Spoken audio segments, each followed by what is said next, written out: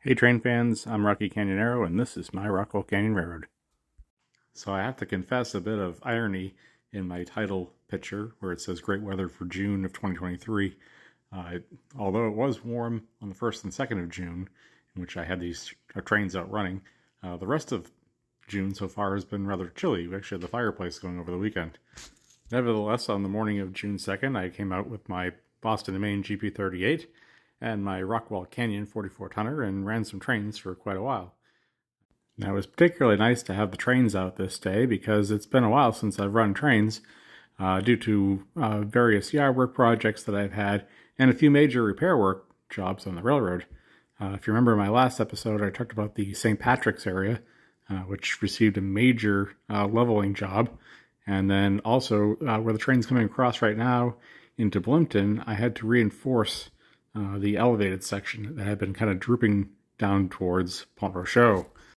I was able to take a couple of four foot T posts, which are normally used for garden fencing, and drive them into the ground to add a bit of a, an anchor for that section of raised track work.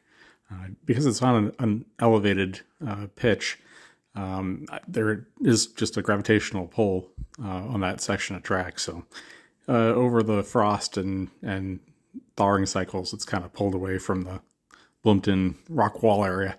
So this is kind of ensuring that it stays in place a little bit more. And it allows me to adjust it too. Um, the T-posts have drilled holes so I can merely just, you know, unscrew them and reposition them if ever needed. But it seems like this is going to be a pretty good solution.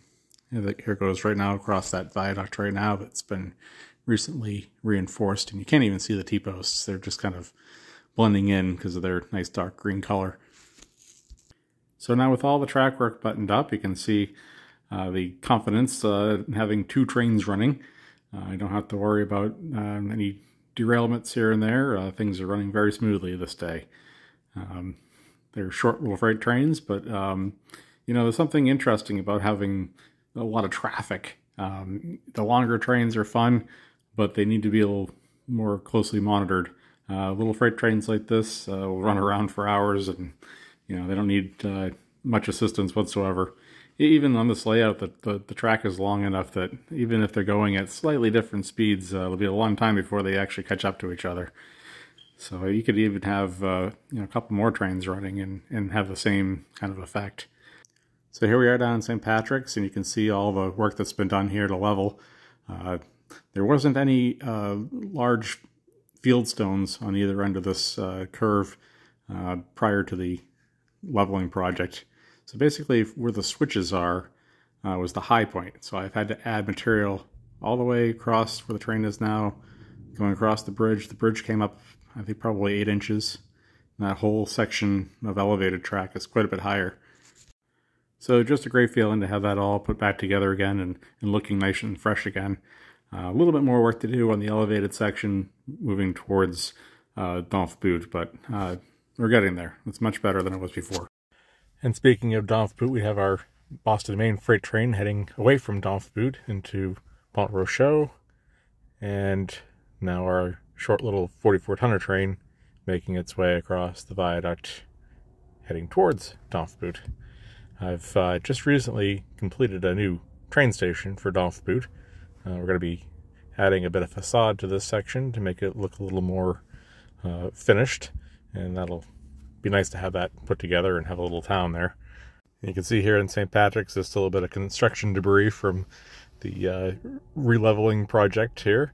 a lot of that uh, wood material will probably be brought over to Boot uh, when the time comes. Hopefully, uh, I can get out there before the, the mosquitoes get too bad. Uh, being at that location, it's uh, a little tricky to work there sometimes. And the next project after that, of course, is over at Blimpton again. I'm going to take that whole rock wall down over at Blimpton and we're going to straighten out the entire length of that and add a little more material between the wall and the track. Because what I found is that there tends to be a lot of uh, erosion. You can kind of see here as the train comes by. The track is really close to the rock wall. So we're going to get rid of that little kink uh, that the train's going into right now. I'm going to straighten that out and, uh, you know, make the pathway a little further over too. So that's going to be kind of a kind of a major project. But now that I have the, the tractor helping me out, I should be able to get that done much quicker than I would have before. All right, let's take a break from the chat here and uh, play some music and watch the trains do their thing.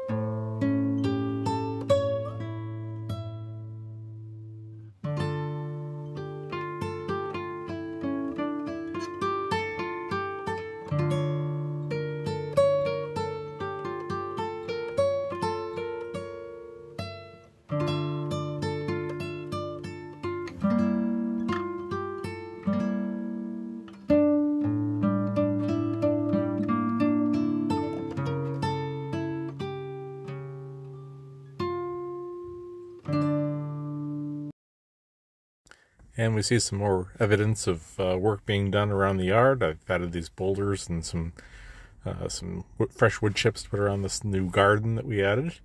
Um, added a new tree this past winter. It's a tiger tail pine. And uh, also a great crop of blueberries this year. Really excited about that.